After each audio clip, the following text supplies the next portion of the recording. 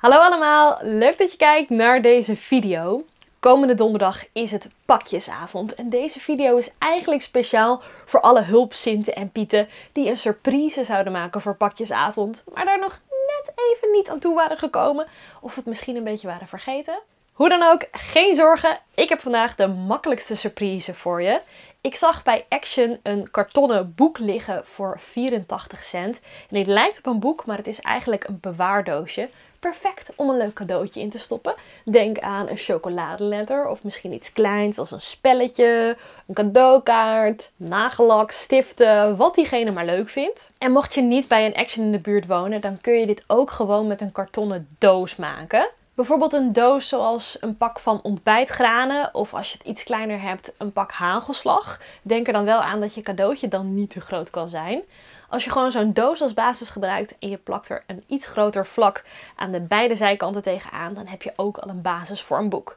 Mocht je dat dus niet hebben of geen zin in hebben of geen tijd voor hebben, bij Action vond ik dus voor 84 cent een kartonnen boek en die ga ik als basis gebruiken.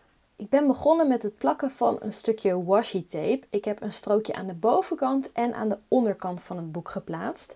Deze strookjes die wil ik eigenlijk niet rood geverfd hebben. Dus daarom plak ik ze af. Deze tape haal ik er straks weer vanaf. Die hoort dus niet bij de surprise zelf. Maar dan heb ik deze stukken alvast afgeplakt. En dan ga ik nu een letter S maken. Dat doe ik met een potlood. En die lijn ga ik straks overtrekken met verf. Ik maak hier de S van Sinterklaas. En je kunt zelf een beetje kiezen wat voor lettertype je wilt. Maar een beetje een wat chiquer of wat netter font, dat vind ik er wel bij passen. Maar mocht jij een andere S willen maken, dan kan dat natuurlijk. En ook kun je het grote boek erop schrijven of iets anders of de letter voor degene voor wie je de surprise maakt. Maar ik vond een S wel toepasselijk. En mocht je nou zo meteen niet helemaal tevreden zijn over je lijnen, geen zorgen, we gaan hier toch nog met verf overheen. Dus de lijnen die je per ongeluk verkeerd zet, die zien we straks toch niet meer terug. Oh, ik hoop echt dat je dit een beetje kunt zien. Want als ik zo op mijn schermpje kijk, dan zie je niet zoveel van die potloodlijnen. Ik zie ze zelf gelukkig wel. Maar ze komen wat moeilijk over op beeld. Als je dan tevreden bent met je letterschets, dan is het tijd om de rode verf erbij te pakken.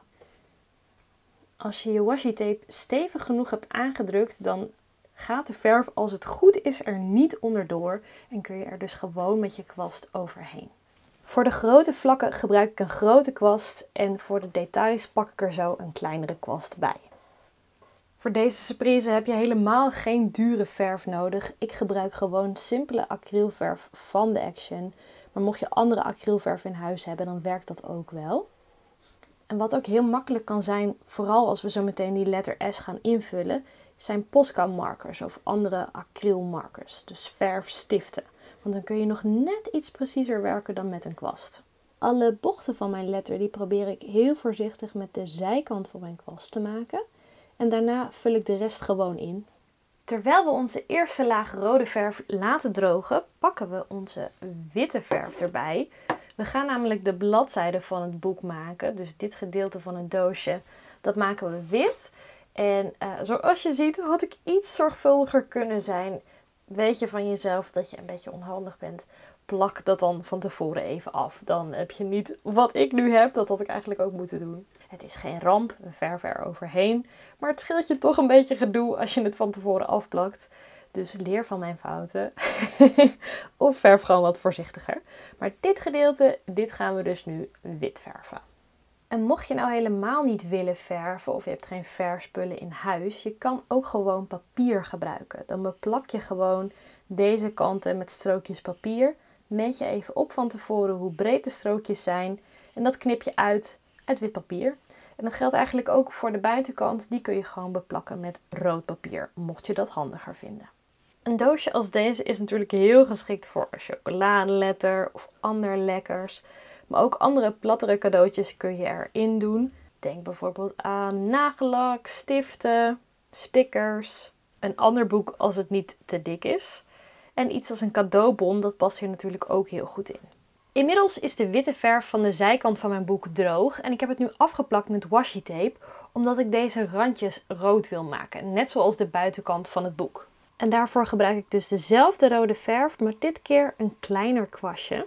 En ik hoop dat ik alles goed heb afgeplakt, want anders moet ik straks weer over mijn witte verf heen verven. Je ziet hier ook een stukje waar witte verf zit waar het niet had gemoeten. Dus daar ga ik zo meteen extra overheen met rode verf. Maar dat is iets makkelijker dan dat je met wit over rood heen moet. Dus hopelijk heb ik alles goed afgeplakt en komt het zo goed. En dit herhaal ik dan aan alle zijkanten van het boek. Het is altijd zo'n goed gevoel als je iets hebt afgeplakt met tape en je haalt het eraf en je hebt van die mooie strakke lijnen. Hier ben ik echt heel tevreden mee. Dan is het nu tijd om een gouden verf erbij te pakken. En deze gouden verf die ik gebruik, ook van Action, die is niet super dekkend. Dus je kunt er ook voor kiezen om eerst een laagje wit te doen. Maar ik ga gewoon meteen met de gouden verf aan de slag. En dan doe ik er zo meteen nog een laagje goud overheen. En ik gebruik een brede vierkante kwast, zodat ik langs die lijnen kan gaan. En mocht je jezelf nou daar niet mee vertrouwen, denken, oeh, ik weet niet zeker of dat lukt, dan kun je ook de rode verf gewoon afplakken nu, want die is droog inmiddels.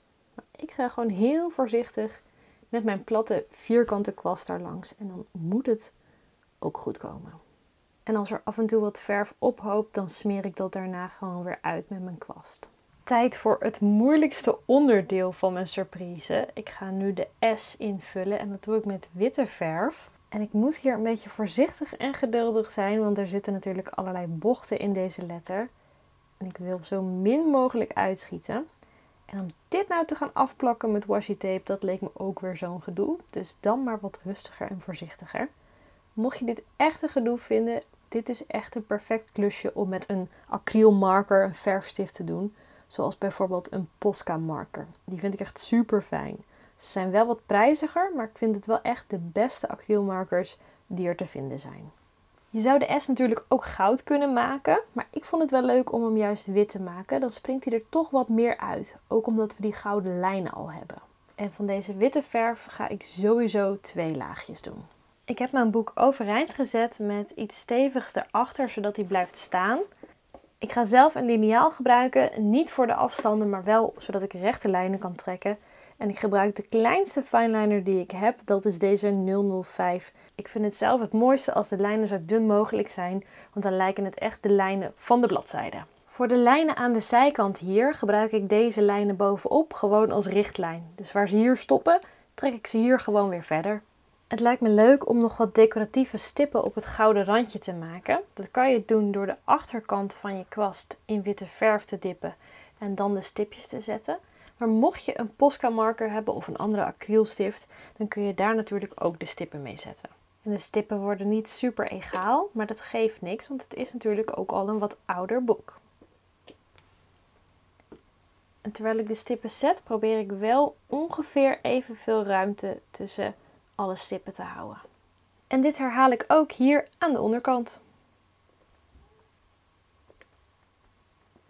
En dat is hem dan, het kleine grote boek van Sinterklaas. Mocht je hem nog weer willen versieren, dan kan dat natuurlijk. Je kan de binnenkant ook beplakken of er een gedichtje inschrijven. En natuurlijk niet te vergeten om er een cadeautje in te stoppen. Ik vind zelf de gouden verf ook echt heel erg leuk uitpakken. En het is echt een leuke surprise voor iedereen en ook nog eens heel makkelijk om te maken. Ik hoop dat ik je vandaag heb kunnen inspireren met dit idee. Het is absoluut niet moeilijk om te maken en het droogt ook vrij snel. Mocht je geen verf hebben of geen tijd hebben om de verf te laten drogen, dan kun je het boek dus ook beplakken met papier. Als je deze week nog pakjesavond gaat vieren, dan wens ik je alvast heel veel plezier en ik hoop je snel weer terug te zien bij een van mijn video's. Tot de volgende! Doei!